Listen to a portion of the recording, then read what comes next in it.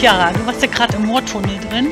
Erzähl mal, hast du die Moorleiche gesehen? Super interessant, leider nicht auf Fotoausschnitten. Von der Zeitung haben wir einen kleinen Artikel gefunden, aber die echte Leiche nicht. Aber war trotzdem sehr schön da drin, oder? War super interessant. Ja.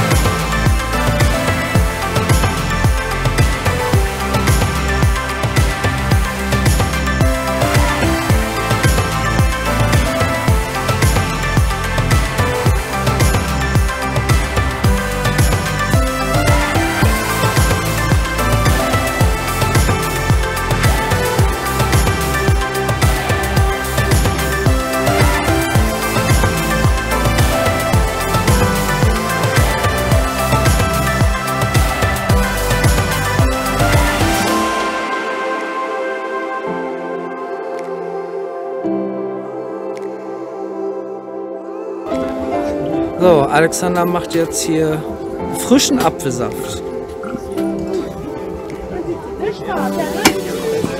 Da kommt das raus. Wenn wir noch ein paar Kartoffeln mit rein tun, dann passt das wenigstens. Chiara, was machst du da? halte professionell das Netz fest, Oh. Apfelsaft können. Kartoffel heißt ja auf Französisch auch Pomme de terre. Erdapfel ist ja quasi. genau, ja. Ja, das ist irgendwie auch eine Kartoffel.